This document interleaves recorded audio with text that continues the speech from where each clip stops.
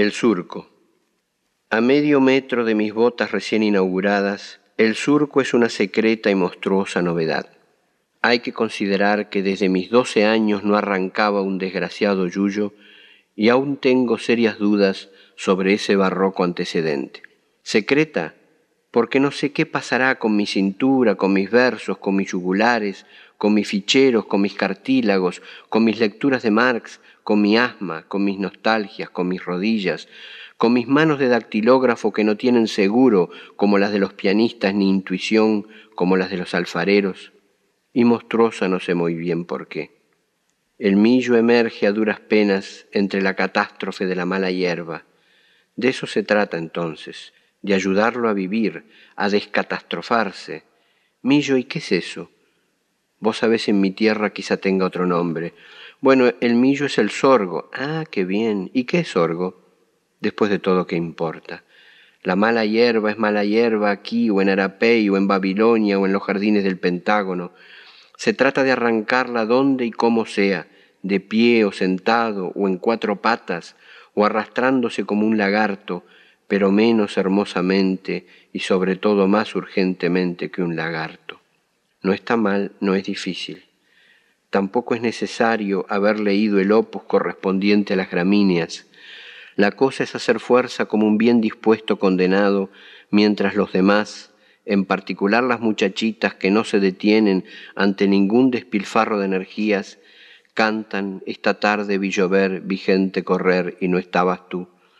Pero si uno se administra y se automatiza, ya no precisa cantar es decir, si convierte sus brazos en palancas y sus piernas en bases de cemento y sus codos en bien aceitadas bisagras y su estómago en condensador y su cerebro en dínamo, es decir, si uno se vuelve pura máquina para la que lamentablemente ya no hay ni habrá nunca más accesorios de repuesto porque se trata de un viejo modelo de hace 47 años, entonces sí queda tiempo libre para pensar en la cultura y su caótica suburbia, para darle vueltas al globo terráqueo del ocio imposible y creador, y hasta para hacer comentarios bien humorados y por supuesto eruditos con el pianista o el pintor o la taquígrafa o el poeta o la bibliotecaria del surco vecino quienes lo alcanzan a uno en un arrebato de lujuriosa disciplina o a quienes uno da alcance en un momentáneo eclipse de la serenidad? ¿Acaso no crees que la Nouvelle Critique será siempre un fenómeno exterior a nosotros, adecuado tan solo para los franceses que no pueden vivir sin desmenuzarse concienzudamente?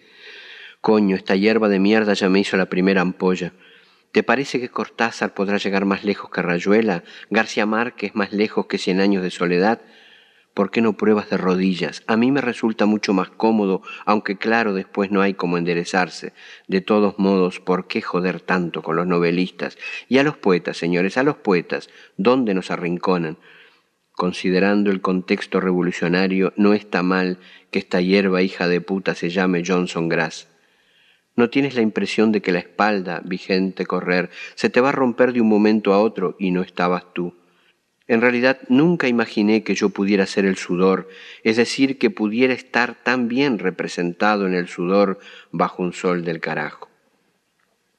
Lejos, donde quiera, en la Guada o en el barrio latino o en Plaza Once, habrá amigos que en este preciso instante arman y desarman y vuelven a armar sin que les sobren piezas el heredado alfabeto, que desde ya coleccionan los inminentes escombros del bien aprendido alrededor, que perpetran felizmente un amor sobre el que no escribirán porque la victoria casi nunca es artística que arriman su oído a la madera en busca de profundísimos latidos, que sienten un nudo en la garganta cuando de algún modo chirria el universo, que se reconocen ajenos y desterrados de sí mismos cuando enfrentan el precipicio y otras dudas, que cantan o blasfeman para uso personal con los labios apretados y secos.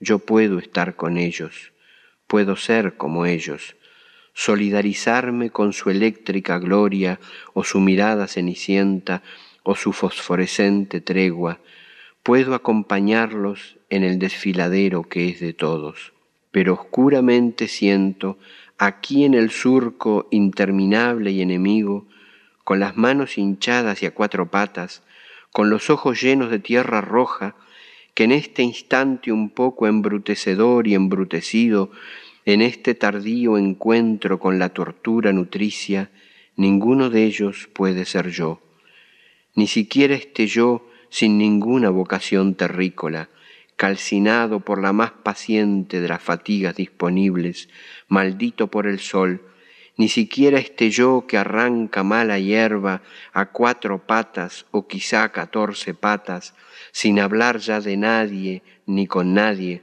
que arranca mala hierba, mala hierba, con las manos, las uñas, los ojos, los pies, la cabeza, los dientes, sin hablar, sin hablarse, sin saber si existe o no un surco vecino, ya no como una máquina de ademanes simétricos e impecables, sino como una sorda alimaña sin párpados que simplemente arranca mala hierba.